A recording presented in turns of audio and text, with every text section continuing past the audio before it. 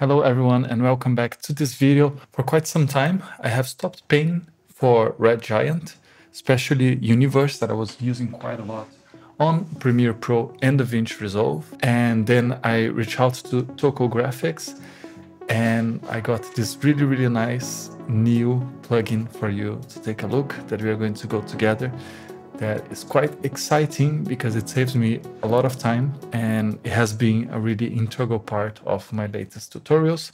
I do have to disclosure here that this is a paid partnership and the reason why I'm bringing this video to you is because I do believe that this is a really interesting product with a bunch of good benefits, especially for the price.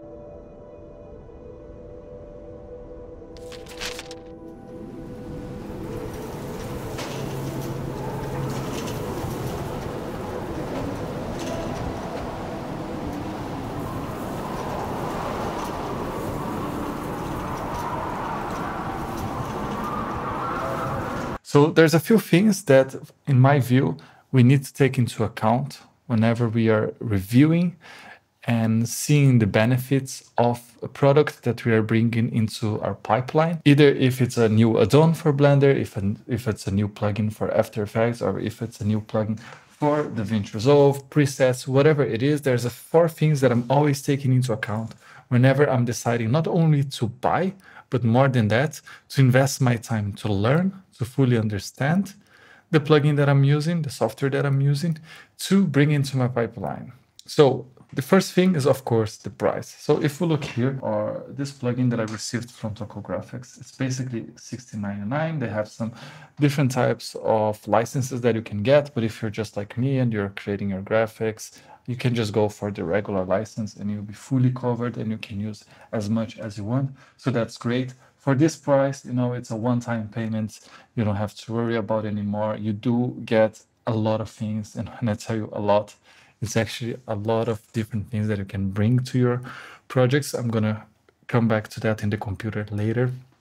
But for now, my favorites is definitely the glitch, not only the glitch effects, but also the glitch overlays. I do find that quite useful and I can use both on the DaVinci Resolve and also on After Effects. This version of the software or the plugin that I have here is for the DaVinci Resolve, but I do still use the sound effects and the glitches on After Effects. That's my favorite place to use those. Then the second one is of course the quality. It doesn't matter if you do get a lot of different things uh, to play around, like for example in Universe, if the quality of the things that you have there are mostly not useful and you end up not using at all. That unfortunately was one of the reasons that I did decided to cancel some of the subscriptions that I had is because I was just using one or two things maximum and paying every month for it. For that for me was a big no-go. And on top of that, also this like monthly prices on top of my current packages, softwares that I'm using, I also think it's a big no-no for me. So for this case, in this plugin, I do believe that the quality is quite nice, especially taking into account how responsive all the presets are. But we get back to that. So here quality also, I think it's a big plus. And then in terms of improving my workflow, what do I mean by that? When I'm talking about improving my workflow, it means that is this plugin getting in the way of me finishing my project and delivering my project in the quality that I want, or it's adding to my workflow. So for example, some plugins you might have to open a folder, go there, scroll, try to find what you want to use, and then you push to your timeline, you test, it doesn't work, then you try to optimize, you try to customize, it doesn't work that well, then you go for another one, you bring in the end, you just don't use anything or you repeat and use the same thing over and over, which is fine, of course, if that's what you want. But if you're investing in a new software, investing in a new plugin, I do believe that you need to take into account if this is adding to your workflow or this is taking out of your workflow. In this case, this plugin, at least on DaVinci Resolve, which is the version that I'm using, it's super easy to see it's super smooth to bring your effects to the timeline. Some plugins, especially on After Effects, tends to be quite heavy and makes your computer um, lag quite a lot. But this one, DaVinci Resolve, super, super smooth. So that's also a thumbs up for me. There's just two things that I'll mention here when I'm talking about the installation. They were a bit troublesome, but we'll get over that. But luckily, this is only when installing the plugin. And then the last part is the limitations.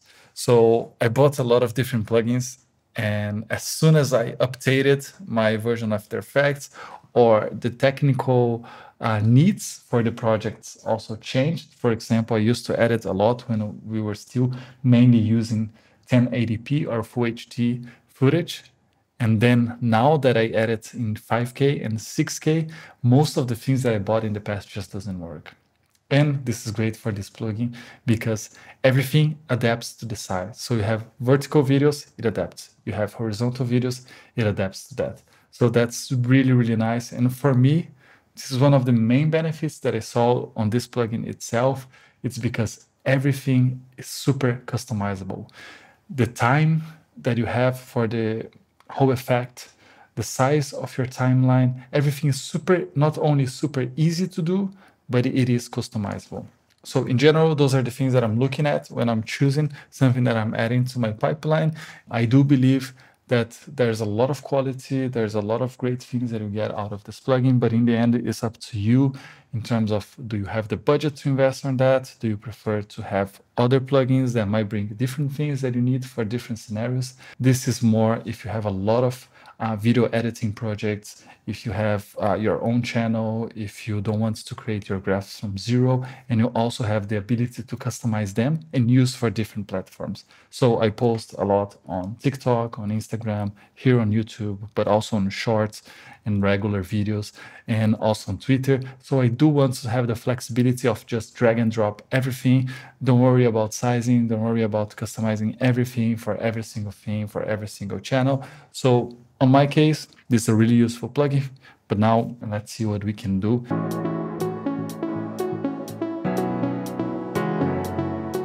Right, so let's first start by talking about the installation process.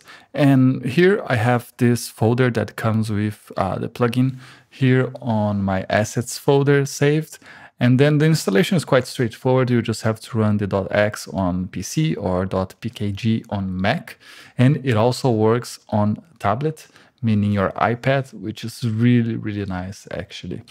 Um, but then after you install that, you do have this quite troublesome step of downloading and installing fonts.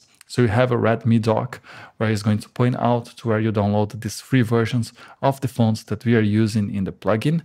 You do need to do that before you start using the plugin. If you don't do that, everything that you have here all these presets that you have, they are not going to work, okay? So make sure to download everything. This indeed is the most annoying part of the whole process of using the plugin, but luckily you just do it once you get rid of that and you don't need to worry about this anymore. Okay, and then you also have two packs here that I'm tending to use quite a lot actually for projects on After Effects and Premiere Pro. This version of the plugin is for DaVinci Resolve, but I do like to use here the glitch effects in my After Effects composition. I'm gonna put uh, right now a example. So you see that you can use uh, this on everything that you create, especially VFX. So I find that quite useful. Have some with colors and some monochrome, have elements, and also have overlays. So those are actually quite nice. Let me just quickly open one for you to see. You see here, this is really, really cool. You can use for transitions, for effects. Doesn't matter what it is, you can come up with something really, really nice. And also we have this sound effects one. This is also really cool, really high quality, a bunch of sound effects. And if you want, you can just pause here and see what is the sound effects that you do receive. So impact, stamp, sub drop, nature, rock, simple strobe and also sound effects for transitions, so camera transitions and flat transitions. So really cool. Let's come here on the DaVinci Resolve and let's just quickly take a look at a few of the templates that we received. Of course, I'm not going to go on each and single one of those because this video will be super boring and super annoying, but I'm basically going to tell you how I would use those and how easy it is to implement those. So you see here, we have typographic type of effects. So are this one here and you see how fast it is this preview it's amazing really it's really really nice So this mainly on start and end of my videos, I'll use something like this. Uh, also chapters, if I'm creating something related to chapters, or if I'm also creating some uh, um, ads, but that is more for my, my main work and not for uh, things related to audiovisual. So that's quite nice. Backgrounds, you can also use, I don't tend to use that quite a lot, but you see here that you have a bunch of different options that you can use uh, for your videos. Not my favorite, to be honest, but uh, for some people that do enjoy having this, let's say on the beginning of a live stream, you just push this background with text on top, that can look quite nice. Social media, this is one of my favorites. Uh, I'm going to implement this more and more on my videos and you can see in the latest one that I've been publishing that you do see quite a lot of this. This is super easy. You just come, push, drag and drop. You have the animation that starts and also you can push like this and it's not going to affect the intro and the outro of the animation. You can make it as long as you want. So that's super, super nice. Let's come here. We have a few titles. I don't tend to use those quite a lot. Also, I see them similar to typography, but of course you can use your own background. Similar thing with lower thirds. This is more useful for me whenever I'm going to talk about specific subject on my videos. I just drag and drop here. Customization is quite fast. You just come here, you change lower thirds, edit color, extra controls. So basically have everything here, which is quite nice. Then the big titles, also similar, so connected titles. All of this, I tend to put them in the same category of improving uh, the quality of representation. Okay, so this is to inform your viewers, is to break a little bit between videos, between changes in the scenery. So quite nice to have. Then we have some shape elements. This we have a bunch of uh, different divisions here into shape lines, base lines, interface icons, and wider icons. I do like these interface icons here. They're quite nice, especially when I'm doing creating ads for my main main job as a marketer. But uh, for my videos, I don't use that quite as much. But then when I'm creating ads and things like that, I do tend to use them. Okay, so now we come here to interface items. This is also really, really cool. A little bit similar to the social media ones. I tend to use more for ads also. Um, but yeah, you can just play around and see there's a bunch of options. We have a bunch of gradients similar to the background ones. Callout, this is actually one of my favorites also that you can just bring here.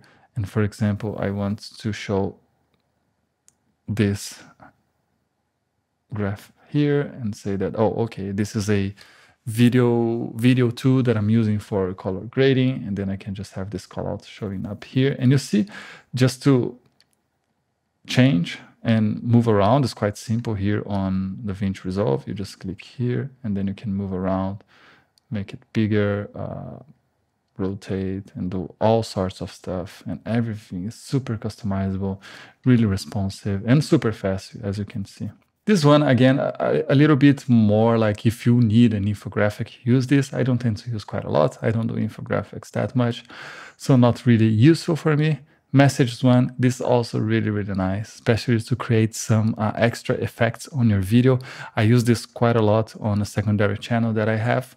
Um, so quite interesting to have. This one device is also a, a, bit specific if you are creating visuals, ads, showing a phone that you want to put on your ad, or you are promoting something specific that you have for your channel. Just use this, it's quite nice and easy to go. And then logo reveals, also really cool. For example, on my channel, I don't use a logo. Okay, so I don't have that. I don't use this one quite a lot, but you do see here that we have around 34 options for this. If you're a graphic designer and you want to show off the logo that you just created, you can also use this logo reveals.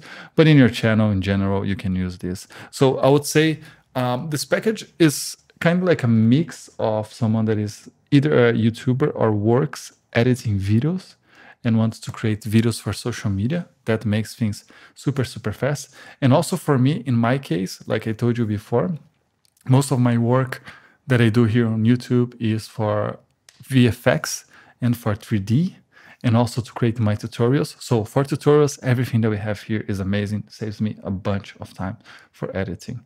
For my VFX work, I'm using the sound effects pack and also the glitch overlays quite a lot.